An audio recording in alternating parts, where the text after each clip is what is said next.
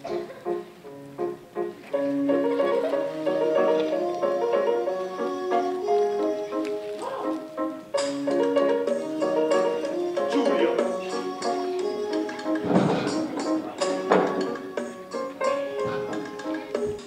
ma come fa il contadino a preparare la farinata?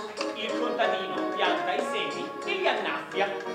I ceci cosa fanno? Contadino cosa fa? Il contadino si siede lì e aspetta. E papà di Giulio gli raccontava delle storie. Storie di cibi. Raccontava per esempio la storia del chicco di riso.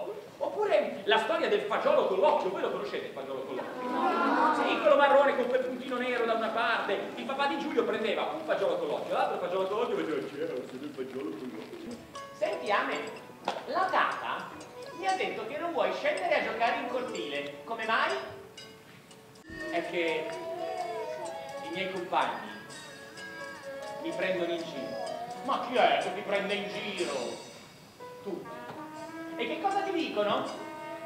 Ti dicono grasso, ciccione, palla di latte. Ma poi, ma tu non sei grasso, tu hai soltanto le ossa grosse, sei un pochino robusto.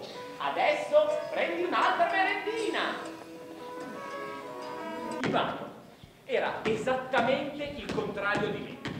Era lungo, lungo, lungo, lungo, lungo, lungo, lungo e magro, magro, magro, magro, magro. E allora i bambini prendevano in giro anche lui e gli gridavano Eh, manico di scopa! Oh, fil di ferro! Mentre io ci rimanevo male, Ivano invece